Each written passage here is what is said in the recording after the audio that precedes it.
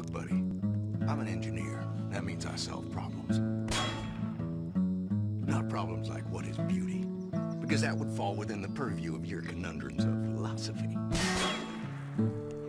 I solve practical problems.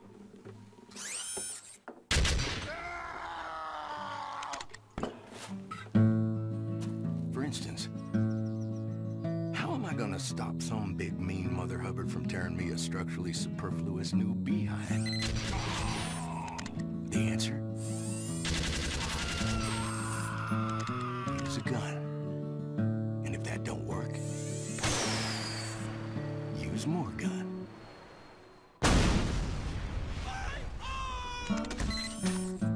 Like this heavy caliber tripod mounted little old number designed by me.